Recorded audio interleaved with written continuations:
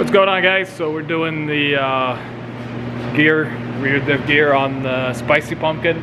it's now, Ah, spicy pumpkin. now it's called the Spicy Pumpkin. So uh, we're going from a 410 to a 373 since the car is making just about double the power now. It just goes straight to limiter. So on run up for initiation, stuff like that, the car just wants to spin the wheels loose.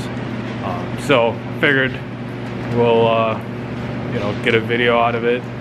And if somebody's doing because this is a really popular diff the 8.8 out of Fords it's a really popular diff. So figured probably a lot of people you know change their diff. It's it's broken or changing their their gearing. So might as well uh, do somewhat of a how-to so we'll go through some of the stuff that, that we're doing here and uh, give you an idea of what you need to do if you're doing a similar job. So we already got the cover off. So you pretty much have to take your wheels off, your calipers off, uh, because it's a solid axle, so you gotta slide the axle right out of it. So that's kind of what we're doing right now. Once we get everything disassembled, I'll go through some more of the stuff that we did and what we're gonna do. All right, so we got the caliper off and the rotor and uh, you slide the, the pins that are in there and so you can slide the axle out far enough. And there's a pin with a bolt in it. Where is it? Right here. So this pin gets this bolt through it and that holds the mini spool part in there. And then this holds the axle in place to not come out so we just got to do the other side and uh, gotta take the drive shaft out of the back, get that bolt loose, and then pretty much you can take these guys off that hold the carrier bearings in and the diff comes out. So, alright, so we got the uh, other side off. We got the carrier bearing. What do you call these? The carrier caps or carrier caps off. Yeah, whatever. Now you just pry it right out of there. Uh, this is the spool, the mini spool that I use. It's chipped on this side from too much power. This will focus. There you go. So we might have to find a different diff and weld it, but if not, we'll just send it as is. Gotta do some prying to get that thing out of there Yeah, I really don't want to let go. but it just means it's tight. Alright, got the drive shaft out of there. And now he's gonna take the, uh, the big nut and then uh, you can just slide the pinion right out.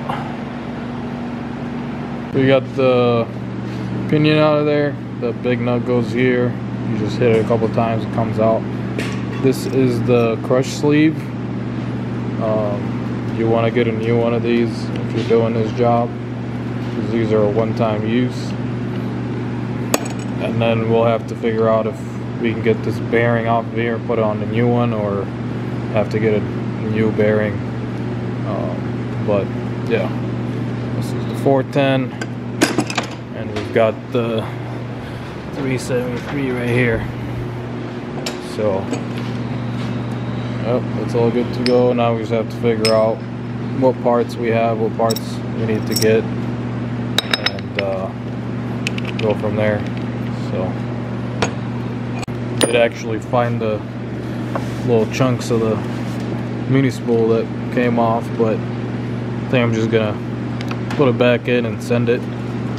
These are just extra chunks that are uh, used, so Those We are don't- the extra. pieces. we don't You need those tell where we're going. You don't tell people about the extra piece. Got the new pinion with the uh, spring on it. Gotta remember there's a shim under there. You gotta get off the uh, old old one or get the right size that you need to set the right lash. Um, and then you gotta you can't reuse this guy, so you get brand new ones. Um, we're gonna have to figure something out as far as this goes, because these guys I said earlier that it was broken. These guys right here are broken. Alright, you can see here. It's not just broken, the whole thing is actually cracked throughout here. Um, even this one was getting ready to break off. Um, this one's cracked across, so you can't reuse these. So might grab another um, 8.8 um, carrier, at least if we can get the uh, spider uh, gears. It needs to be a 31 spline because I use a uh, 31 spline gears. So once we get that figured out, I think I have something lined up from a local guy. I'm just welded on and good to go. So and now we're reinstalling the pinion in. Once you get that on, you have to tighten it until it crushes the this washer right here. And then there's like a, a set load that you have to do with the inch inch pound. But we just gotta, you know, tighten it until it feels pretty tight.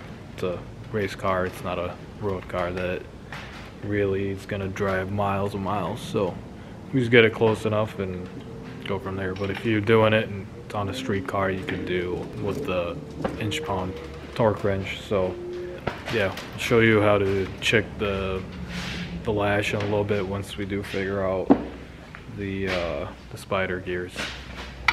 We got the pinion in there. Takes a lot to tighten this nut. This is kind of like an oval nut style. Um, and then you want to set your preload to, uh, I believe, what was it, 16? 16 inch pound.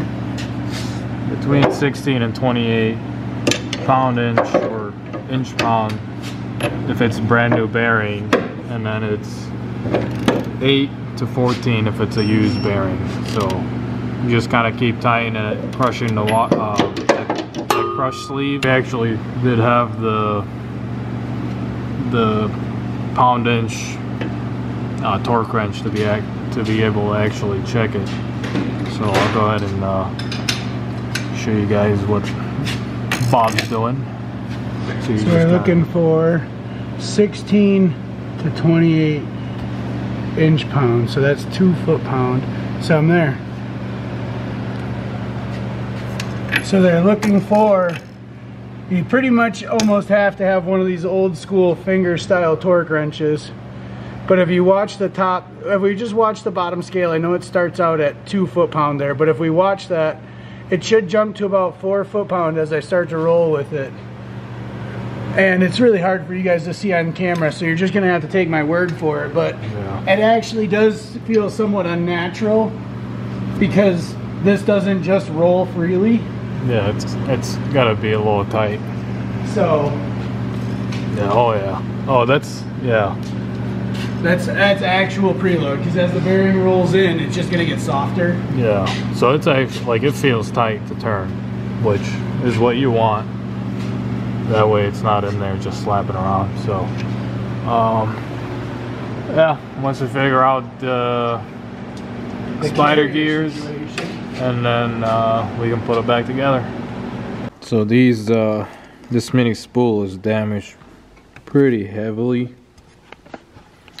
So we tried to find like a Cobra carrier that has a 31 spline because I use 31 spline axles because of the um, dual caliper setup that we have to use for drifting. So I couldn't find one. I thought I did.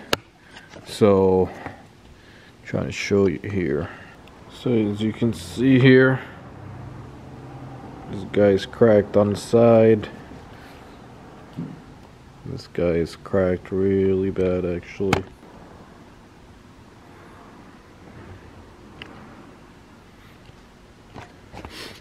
This one is broken.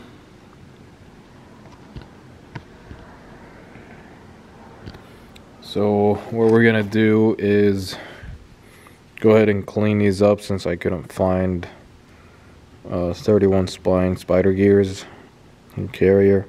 So we're gonna go ahead and clean all these cracks clean all where it's broken off.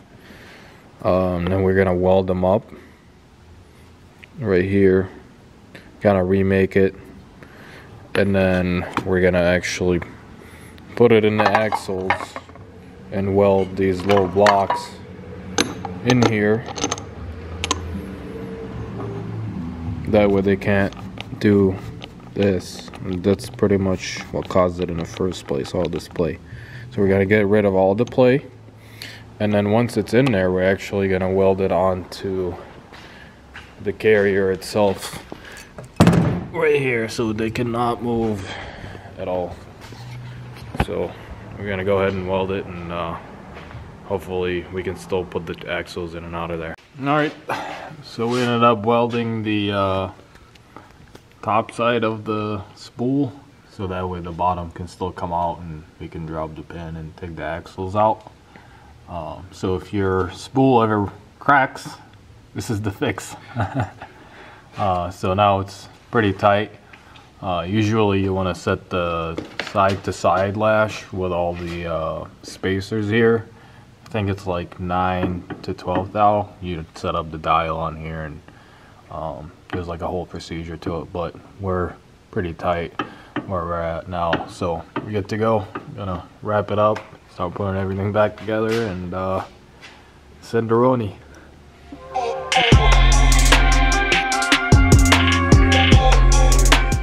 All right, got it all sealed up. Wheels back on. The panhard's back on. If you uh, end up getting the whole kit, you do they do give you the yellow paint that you can put on the the ring gear so you can check the pattern on the top and the bottom for engagement you want it to be not too close to the edge on the inside edge and not too much out to the outside edge if it's too close in it's gonna uh, make a whining noise if it's too far out uh, your wrist breaking one of the gears on the ring gear. So we didn't buy the whole kit, so we ended up just using ARP fastener lube right here. So it's one of the tricks, I guess. Uh, Bob knows. Uh, Pretty much anything that you can shmoo on that gear, yeah. and it'll show you the contact patch. It'll, it'll, it'll go. Yeah. Um, if you're, you know, doing it for the first time, you might have to shim it to get that clearance because that's really what's gonna give you the really nice pattern. Um, so yeah, this is it. We wrapped it up. Just gotta put some gear oil in it in a little bit and uh, just gotta put the drive shaft back on and yeah, it's feeling pretty tight. So now it's so much better. It, it used to be pretty loose. That's why the the mini um, yeah. Dude, yeah. That's why the mini spool kind of broke because I had so much slack in it. Um, but yeah, this is it for, for this one. I hope, you know, it helps somebody out. If not, it was a cool video to make. And if you've done this job before and you have some stuff to add on, go ahead and add it in the comment section. Um, if you did something pretty stupid, then let me know. uh, it's kind of the motto here is just sending it. So yeah, hopefully uh, next time uh, we're on the dyno and uh, we see what this thing can do on the current setup before we go coil on plug. So uh, yeah, this is it. See you in the next one.